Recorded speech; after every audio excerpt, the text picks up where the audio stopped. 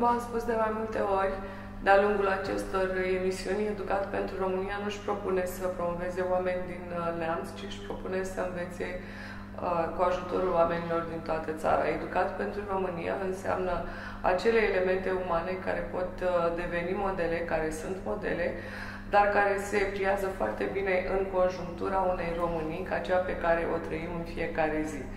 Eu am să-i spun bine a venit în studioul ABD Reporter din Piatra Neamț. Cristinei Chiriac. Bună ziua, bine ai venit! Bună ziua, bine v-am găsit și mulțumesc pentru invitație. Aș vrea să precizez câteva lucruri despre uh, Cristina Chiriac, ca un istoric, un uh, briefing pe scurt asupra unei vieți foarte interesante. Cristina Chiriac este doctor în economie, a fost vicepreședinte AVAS, are uh, două cărți specializate, aș putea spune, pe care o să le prezinte singure, singură la activ. Uh, Uh, și mai mult decât atât, sau ceea ce ne interesează în acest moment, este președinte al CONAF, Confederația pentru Antreprenoriat uh, Feminin din România. Cum anume vom putea învăța în această emisiune de la un model care nu s-a oprit pe niciun palier, ce a construit și a ajuns uh, să formeze o mișcare socială, vom vedea în următoarele discuții. Deci, în acest moment, CONAF este o mișcare socială, în primul rând, cred că este o mișcare patronală și este o mișcare extrem de importantă pentru că, din punctul meu de vedere, lipsa României o mișcare care să susțină și să promoveze antreprenoriatul feminin și, în al doilea rând, da, e, poate fi numită o mișcare socială pentru că prin uh, stimulare, inițiativă și încurajarea modelelor de succes se reduc numărul asistaților sociale, în special pe segmentul acesta feminin și mai mult decât atât promovăm încurajarea tuturor celor care au o idee de business să intre în antreprenoriat. Deci mai mult decât antreprenoriatul feminin. Ultima frază asta denotă. Bun, acum aș face legătura între antreprenoriat uh, pe care îl reprezintă Cristina Chiriac, între societatea civilă Uh, pe care o traversăm în fiecare zi și de care suntem foarte dezamăgiți și educat pentru România. Ce anume trebuie unui om ca să se considere educat, să depășească, uh, eu știu, acest, uh, aceste modele cu care ne-am obișnuit până acum și care au dus la regresul României, putem spune. Așa, plecând de la forța de muncă, plecând de la educația civică, Cred că primul pas pe care ar trebui să-l facem ar fi să ne învățăm copiii să trăiască corect și frumos în această țară. Cred că educația începe cu cei șapte ani de acasă și Bun. continuă cu educația oferită în școli, care, din punctul meu de vedere, este total neadaptată necesităților economice, și chiar și educaționale la nivel național și la nivel european și mai departe continuă cu lipsa modelelor de succes care, în viziunea Uniunii Europene, constituie principalul motiv pentru care um, tinerii antreprenori sau antreprenorii la început de drum se simt impulsionați și apucă pe calea antreprenoriatului. Eu sunt foarte de acord că totul începe cu educația copiilor cei șapte ani de acasă. Noi trebuie să trăim astăzi, acum, într-un 2019-2020, în care mediul antreprenorial este sufocat. Cred că aș putea să te citez și să uh, spun că suntem uh, doar plătitori la stat, ceva... Singurul partid de opoziție. Și singurul partid, da, te așteptai să spun asta, nu mă da. gândeam că CONAF reprezintă sau va reprezenta din ce în ce mai activ uh, singurul partid de opoziție, dar eu cred că mediul de afaceri are câteva dileme majore. În primul rând, uh, dorința de afirmare mediul de afaceri nu este foarte dornic să se afirme, să iasă în față, să fie uh, ținta opiniei publice, în al doilea rând forța de muncă și în al treilea rând, uh, eu știu, tranzitarea unei perioade în care mediul de afaceri s-a concentrat foarte mult pe uh, o zonă individuală limitată, pe când acum toți antreprenorii pot desfășura afaceri cu ajutorul tehnologiilor în toată țara sau în toată Europa. Lumea este în schimbare. Cei care înțeleg lucrul acesta sunt câștigătorii zilei de mâine. Și din punctul meu de vedere, aceștia sunt reprezentați de către antreprenori. Cu siguranță, parcursul antreprenorial în România în ultimii 30 de ani n-a fost deloc ușor.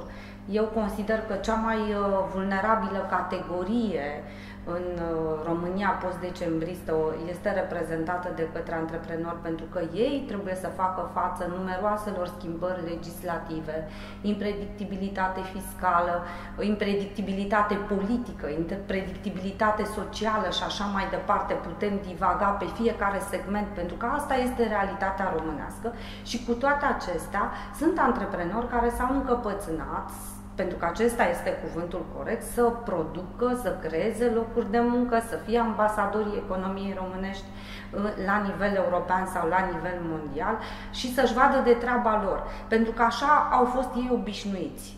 Ea a fost singura cale de subzistență, dumne, văd de treaba mea, pe segmentul meu individual.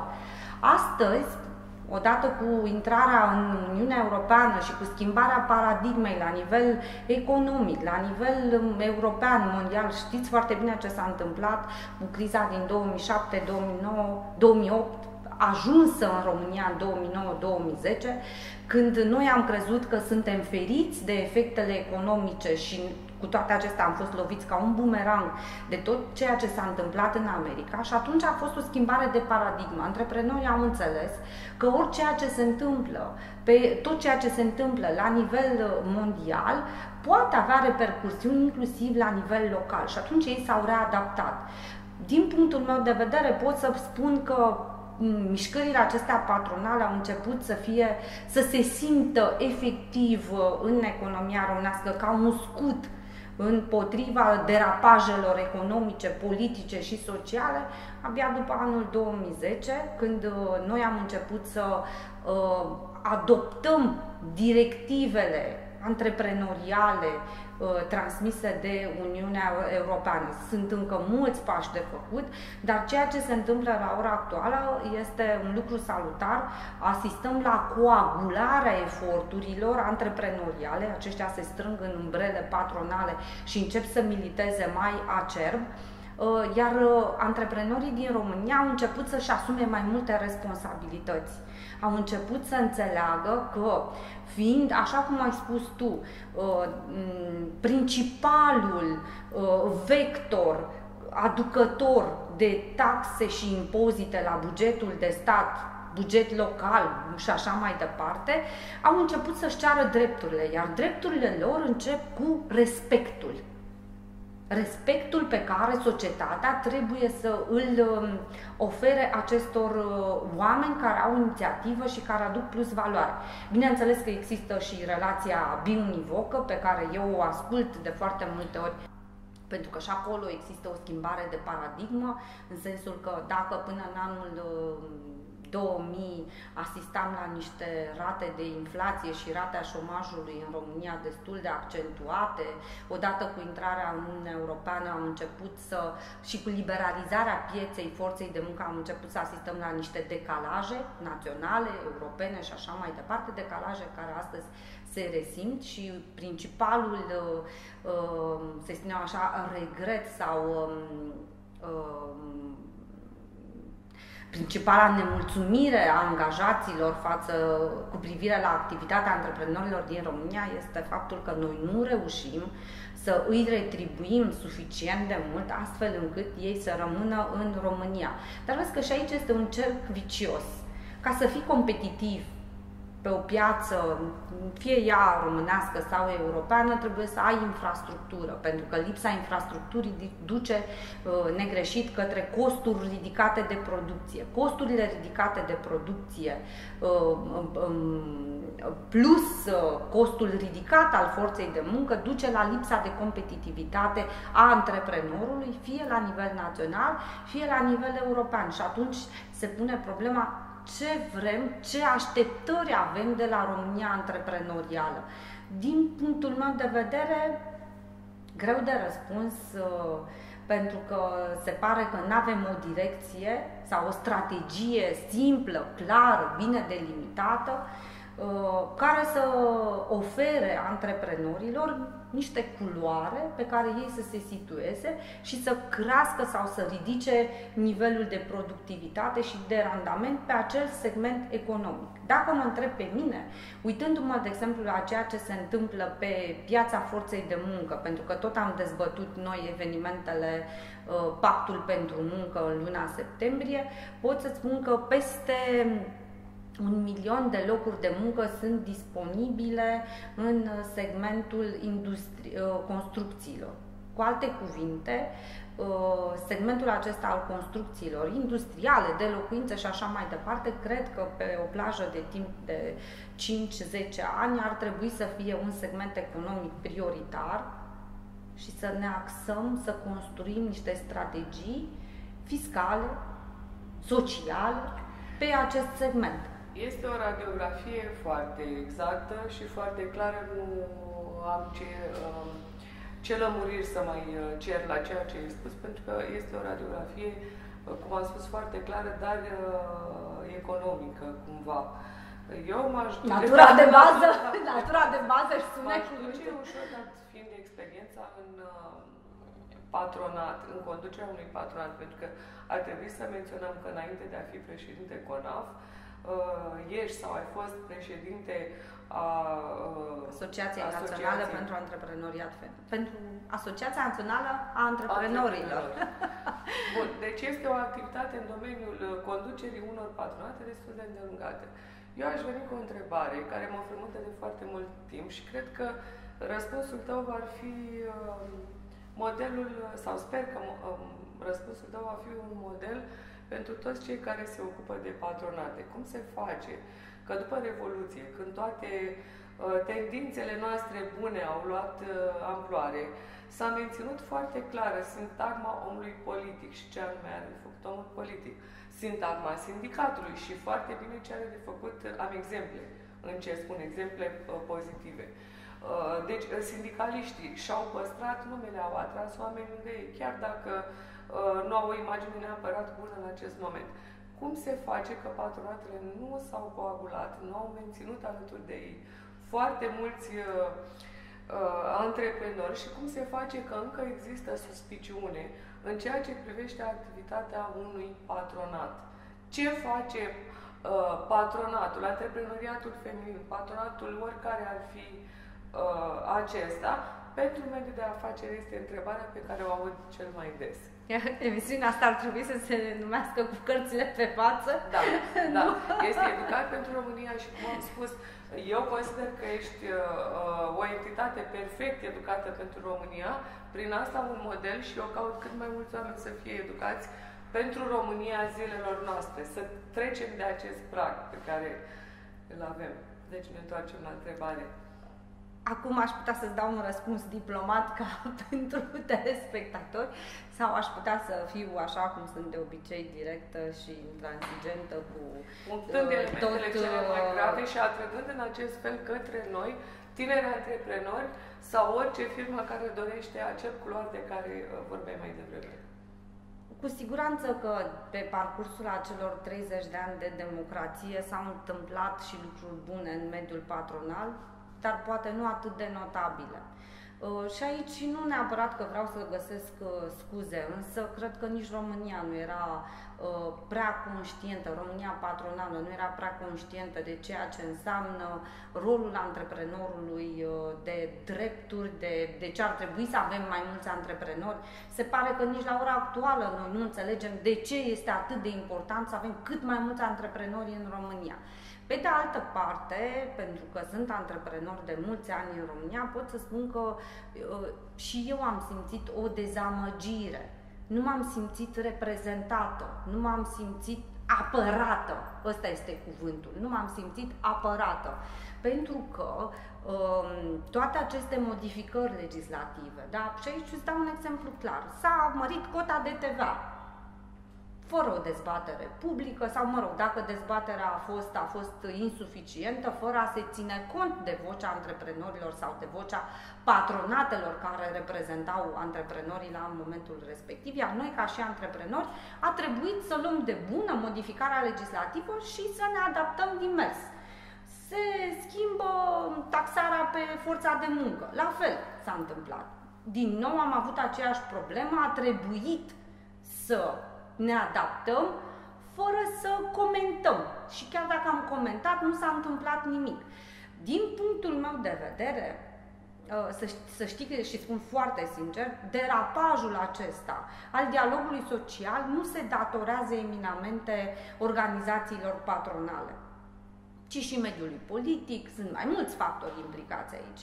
Pentru că degeaba te duci tu și bați cu pumnul în ușă și spui, domnule, eu reprezint 5.000 de companii în România și uite 5.000 de oameni care creează, să spunem, peste 200.000 de locuri de muncă. Dacă guvernul nu are um, responsabilitatea și dacă guvernul nu schimbă legea dialogului social, astfel încât consultarea să nu mai fie facultativă sau informală.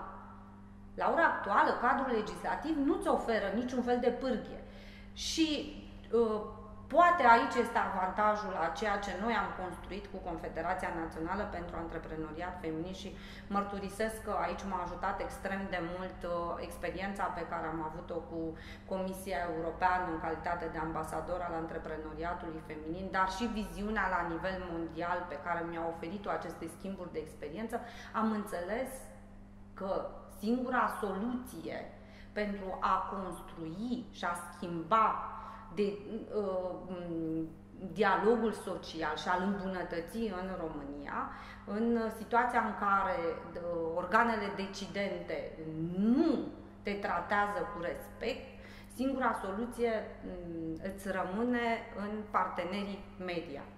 Și asta am făcut noi, am atras alături de noi trusturi importante de uh, presă care ne-au susținut demersurile, demersuri care au fost fundamentate în baza unor analize, sondaje, fie că vorbim de analize cantitative sau calitative. Am atras alături de noi o mișcare, am creat o mișcare.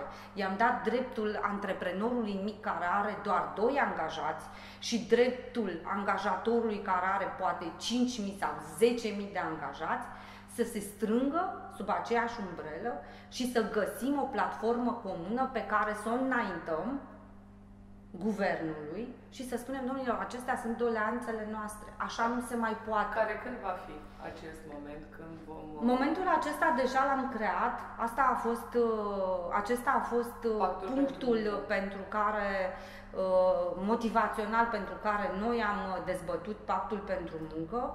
Uh, primul obiectiv și cel mai important a fost să, conștie, să aducem la nivelul opiniei publice, să ridicăm la nivel de conștientizare că în România există o problemă, problema deficitului forței de muncă, care afectează atât angajatorii cât și angajații și se creează o breșă extrem de periculoasă pe termen lung în ceea ce privește viitorul uh, nu doar economic al României, dar și cultural, economic, social și așa mai departe și continuăm în 2020 cu acest pact. Am reușit să ridicăm la nivel de conștientizare.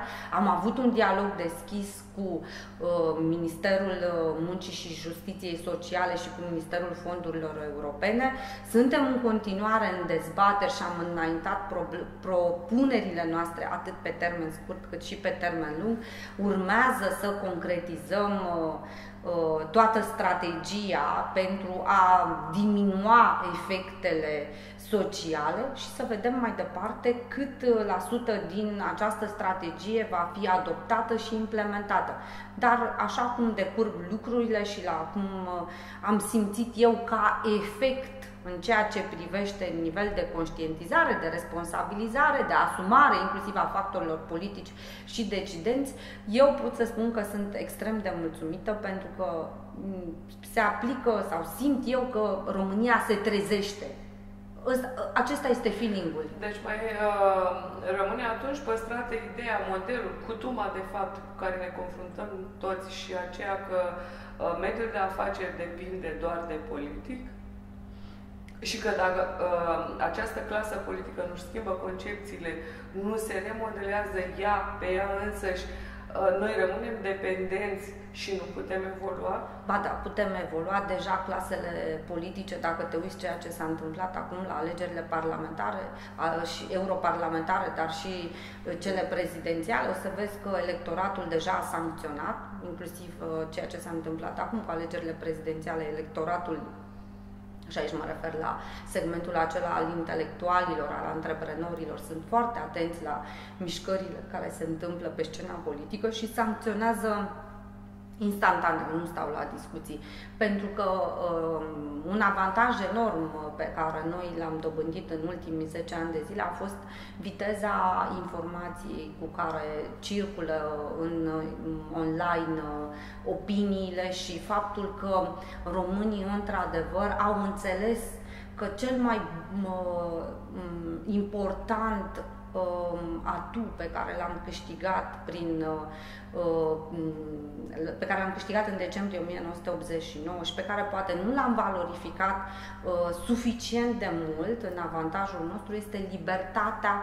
la, în exprimare, libertatea în susținerea opiniilor, bineînțeles, argumentate și fundamentate în termeni decenți și în concordanță cu actualitatea românească. Să mergem uh, mai jos ca și mentalitate și să vedem dacă a ajuns până la tine, până la, uh, eu știu, centrele de greutate ale CONAF. Avem, uh, să zicem, 3-4 centre de greutate în țară ale CONAF și nu mă refer la sucursale sau patronate. Uh, Uh, acea mentalitate a, angajator, a angajaților care acuză angajatorul de orice deficiență uh, cu care se confruntă el. Uh, mai exact, ce vreau să spun, este că de-a lungul interviurilor pe care le-am realizat, am constatat că atunci când întreb ce modificări ți-ai dori de la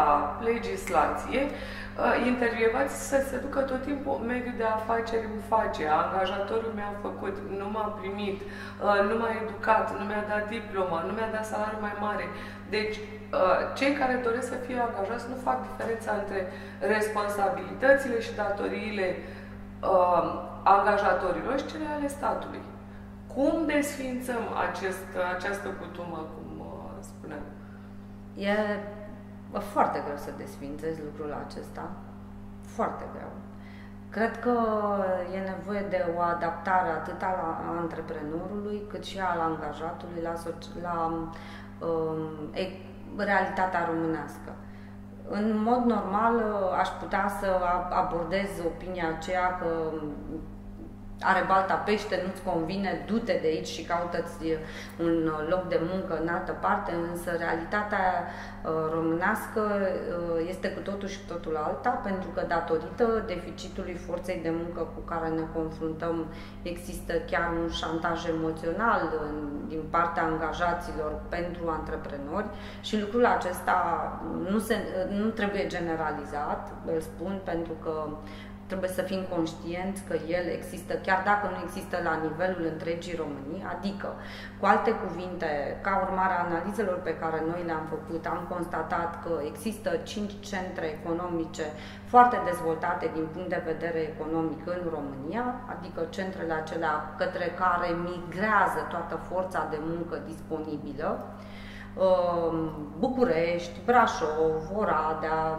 Cluj, se știu aceste centre, dar există și zone foarte, um, din punct de vedere economic, slab reprezentate, acolo unde nu întotdeauna comportamentul angajatorului este corect. Derapaje vor exista întotdeauna de, de ambele părți, și de partea angajaților și de partea angajatorilor Uh, important este, din punctul meu de vedere, să încercăm să construim și să corectăm, pentru că nu se schimbă nimic de pe zi pe alta.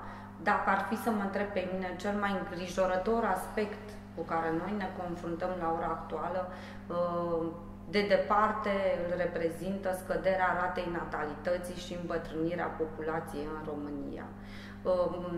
Uh, de ce spun că deficitul acesta de forță de muncă afectează și angajații și angajatorii? pentru că indiferent de care, de care parte a baricadei ești, că ești angajat sau ești angajator, dar te afli, să zicem, la începutul uh, de carieră, se pune întrebarea, uh, realist vorbind, cine îți va plăti ție pensia peste 30 de ani? Dacă acest sistem al asigurărilor sociale va mai suporta, va mai avea fonduri necesare pentru ca tu, în momentul în care, după nivelul de cotizație uh, reglementat conform legii, la 65 de ani sau la 67 de ani, când vei ieși tu la pensie în funcție de uh,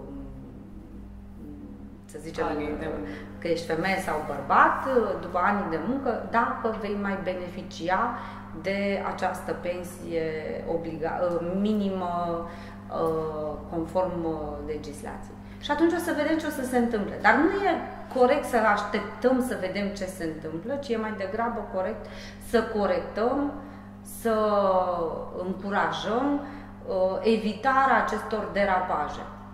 Da, păi nu așteptăm că avem uh, CONAF și o să vedem, avem nevoie clar și de un schimb de cuvinte mai optimist, după părerea mea. Am să uh, mă fixez pe o întrebare. Poate CONAF să se autodepășească? Pentru că am, uh, mi se pare amuzant uh, modul în care am abordat problema, pentru că este foarte interesant. A fost un an extrem de consistent al CONAF prin lansări de patronate și sucursale în toată țara și prin acest demers extraordinar care a însemnat pactul pentru muncă și trei uh, confederații patronale care și-au adus aportul pentru a constitui această statistică în final și primele măsuri care urmează să fie luate, așa că amuzant sau nu se poate CONAF autodepăși în anul care vine avem nevoie de trei soluții optimiste, după discuția pe care am avut-o. um,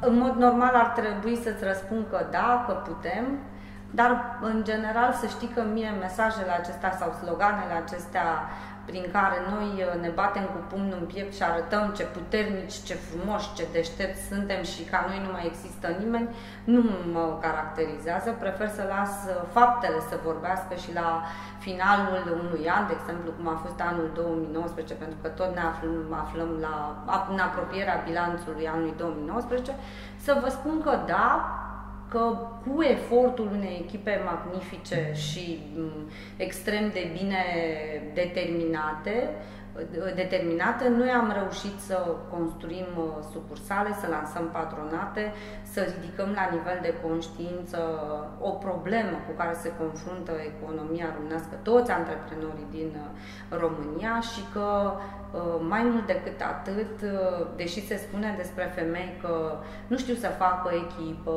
că nu știu să se susțină, că femeile nu votează alte femei, că femeile sunt sensibile și nu știu să facă business, noi am reușit să găsim suficient de multe modele de succes în România, femei care se implică în antreprenoriat, care aduc plus valoare, creează locuri de muncă, fac copii, uh, fac business, uh, mai mult uh, exportă în întreaga lume diverse produse și servicii și uh, mi-aș dori, dacă vrei să spunem așa, pentru anul 2020, când ne vom reîntâlni și vom face bilanțul, să vă spun că am reușit să construim cele 24 de sucursale uh, conform cadrului legislativ aferent uh, patronatelor în România și că suntem capabili să depunem documentele pentru a avea um, reprezentativitate națională. Mai mult decât atât, mă mulțumesc cu ceea ce, așa m-a învățat pe mine viața, să mă mulțumesc cu ceea ce am reușit și în loc să privesc în sus și să fiu invidioasă față de ceea ce au reușit alții să, uh, să facă, să mă uit în jos cu recunoștință și să mulțumesc pentru fiecare lucru mărunt pe care am reușit să-l realizez. Și sunt recunoscătoare că fără o echipă puternică alături de uh, noi, Nimic din ceea ce am construit sub această umbrela Confederației Naționale pentru Antreprenoriat Feminin n-ar fi fost posibil. Fără suportul partea celorlalte entități patronale care au crezut într-o entitate nouă și care s-au afiliat uh, atât din punct de vedere reputațional, cât și din punct de vedere al efortului financiar sau afiliat eforturilor inițiate de către CONAF, este salutar. În 2020, ce pot să vă spun este că pactul pentru muncă va continua, că vom încerca să strângem sub aceeași umbrele toate entitățile patronale care își doresc să se afilieze unui uh, efort susținut de a construi o România antreprenorială și că ușa este deschisă tuturor, că nu milităm uh, pentru CONAF, ci milităm pentru România și că îmi doresc un viitor mai bun pentru cei care astăzi nu conștientizează importanța acestui viitor. Dacă eu aș fi un uh, simplu antreprenor și tu ai fi președinte CONAF, care ar fi cuvintele cu care uh, m-ai invita uh, să intru cu reputația și cu toată energia mea în CONAF? uh, nu, sper că, a, acum îți spun eu o întrebare, sper că îți mai aduce aminte atunci când uh, ai participat la prima întâlnire CONAF uh, și s-a uh, discutat la acea masă a Consiliului Director uh, ce oferim membrilor noștri. Întrebarea mea a fost ce ne oferă membrii noștri. Pentru că eu nu merg pe principiul că uh, trebuie să vii și să oferi. Sunt sătulă de pomeni avem pomeni pe toate sectoarele, pomeni electorale, pomeni sociale, pom de toate, pomeni patronale. Nu oferim decât atât. O ușă deschisă în care fiecare antreprenor să-și găsească locul, să militeze pe acel segment, să ni se alăture, pentru că în România, din punctul meu de vedere, voluntariatul încă nu și-a căpătat dreptul uh, la respect. Eu fac voluntariat pentru uh, România, nu neapărat pentru antreprenoriat feminin. Da?